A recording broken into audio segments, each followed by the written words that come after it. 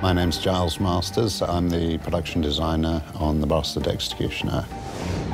The show is very much grounded in Wales, set in about the early 14th century.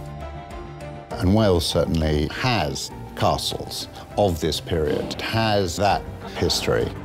So you really want to, you know, get into that.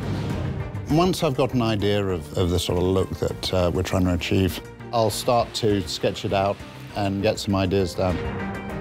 Our set designer, he'll put it into a SketchUp model. From the SketchUp model, we'll do another more finished 3D model. That gets approval, we do the plans and elevations, and they go out to construction.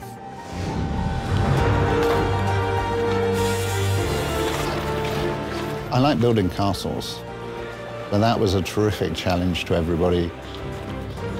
It was a big set, and we didn't have a lot of time to get that built in the weather that we had. They were out there in the mud up to their knees uh, for weeks. We literally have built the front of a castle, and that would be one of our home sets, and an entire court village. Giles, and he had a great team with him, and the level of detail is, is incredible. Kurt loves the idea of getting the detail right. The audience needs to feel like they're in the room. They're in the dungeon. They're in Annora's Cave, which is an old open-cast mine in the forest just north of Cardiff. They're in the chapel.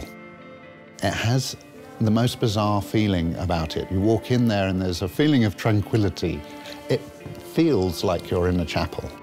It's almost like the place was blessed.